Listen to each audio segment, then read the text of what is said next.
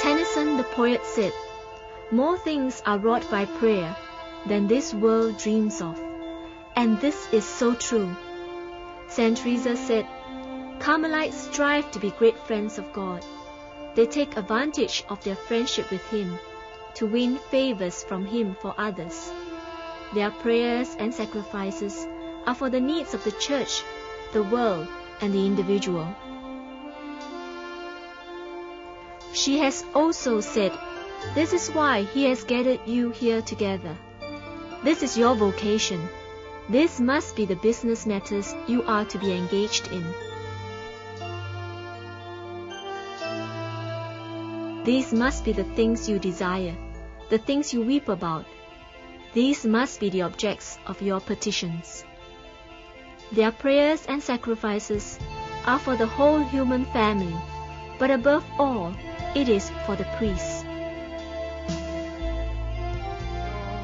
Dios Todopoderoso, Padre, Hijo y Espíritu Santo, descienda sobre vosotros.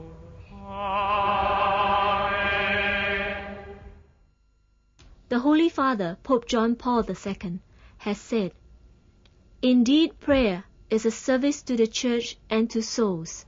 It obtains for the people of God a hidden apostolic fruitfulness.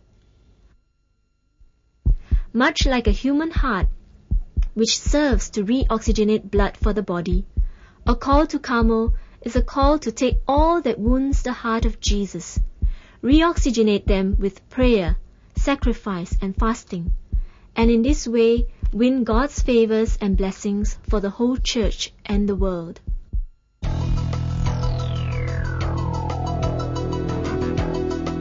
What do the Carmelites do the whole day long?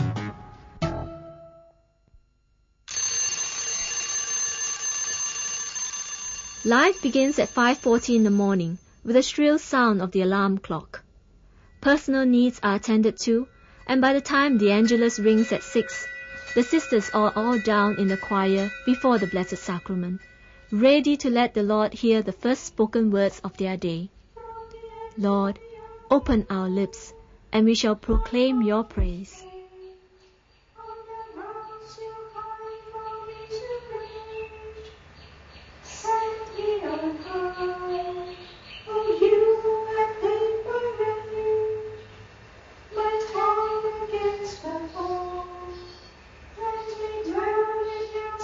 With words such as these, with psalms and hymns, the day begins with morning prayer, in which the sisters consecrate the first stirrings of their mind and will to God. The daily schedule of work begins at 6:30 in the morning, interrupted for mass at 7, followed by breakfast and an hour of personal prayer and mid-morning prayer. I hope in the Lord, I trust in His word.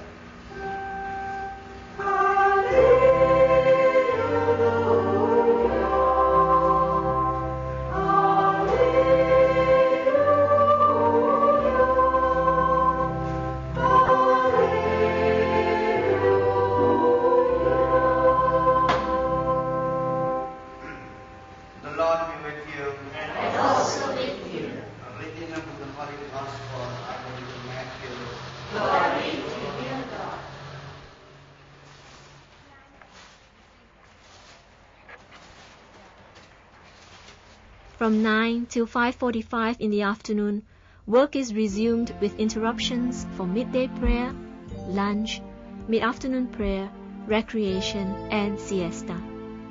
Much of the work is done in silence and solitude as a means of nurturing the spirit of prayer, so that at all times and in whatever they do, the sisters are with their beloved and he with them.